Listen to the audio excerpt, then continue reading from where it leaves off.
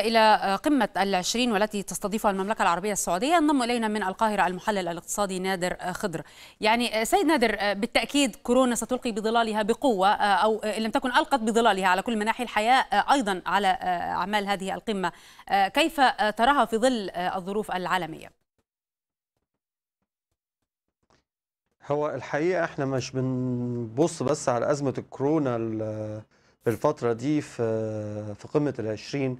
قمة العشرين الحقيقة بتنعقد في المملكة العربية السعودية في وسط أجواء استثنائية وظروف جوهرية على مستوى العالم كله مش مش بس المملكة العربية السعودية ولا بالنسبة لقمة ولا مجموعة دول العشرين فقط بل إحنا بنتكلم على أزمة الكورونا زي ما حضرتك تفضلتي بنتكلم على أزمة ديون سيادية بتلوح في الأفق تباطؤ اقتصادي شديد بادئ من قبل أزمة الكورونا ومن المتوقع أن هو يزداد سوءا بعد أزمة الكورونا اللي في بعض التقديرات بتقول إنها ممكن تستمر في خلال أربع ثلاث أربع شهور فقط. وفي بعض التقديرات الأخرى بتقول لا ممكن تكمل معانا لمدة سنة ونص كمان. في نفس الوقت عندنا أزمات على مستوى الأقاليم المتفرقة سواء على مستوى الخليج نظرا لانخفاض أسعار البترول والتباطؤ اللي حاصل في معدلات النمو في سعره فمأثر على معدلات الأرباح منه أو معدلات الإيراد منه اللي مأثر على الموازنات بتاعت الدول اللي كانت بتعتمد بصورة رئيسية على البترول.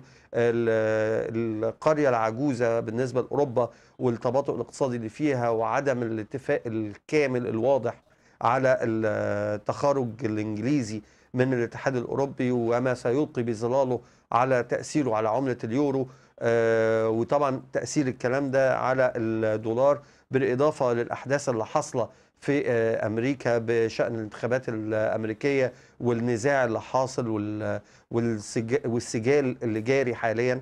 كل الكلام ده يعني أعتقد إنها مش مش هتبقى أزمة كورونا بس وأعتقد إنها هتبقى قمة آه مزدحمة بالأفكار مزدحمة بالنقاشات وهيبقى فيها أفكار جوهرية وأطروحات جليلة يعني عشان نقدر نطلع منها بقرارات أهمية استضافة المملكة العربية السعودية لهذه القمة تحديدا يعني هي في الأساس قمة افتراضية تتم بشكل افتراضي عبر شبكات التواصل الاجتماعي لكنها أو عبر الفيديو كونفرنس لكن أهمية استضافة السعودية لها هل لذلك دلالة؟ هي السعودية آه طبعا أكيد السعودية زي ما كنت بتكلم مع حضرتك دلوقتي وبقول إن الخليج عنده أزمات نظرا لاعتماده خلال الفترة اللي فاتت على العوائد البترولية والصادرات البترولية ونظرا للتباطؤ اللي حصل في أسعار البترول الفترة اللي فاتت وإن إحنا شايفينه بيتراوح من معدلات ل 42 لل 56 ومش قادر يتخطاها خلال الفترة الجاية. فده مأثر جامد على الموازنات بتاعتهم ومزود معدلات العجز ومزود معدلات البطالة وضاغط على موازين الصرف بتاعتهم مأثر على معدلات التصدير. الكلام ده كله خلى السعودية تقود المنطقة للاقتصاد المتنوع بالفكر الجديد اللي جه بيه سمو الأمير محمد بن سلمان خطة تحديث الدولة طبعا برعاية الملك سلمان حفظه الله. الكلام ده كله أكيد هيبقى له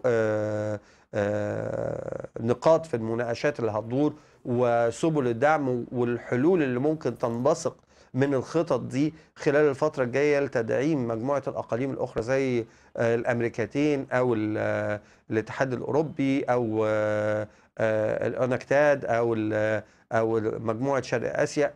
يعني مجموعة كبيرة قوي من من الاتحادات الاقتصادية ممكن يتم التعامل معها مع مجلس التعاون الخليجي من خلال السعودية والدول الخليجية القيادية اللي موجودة.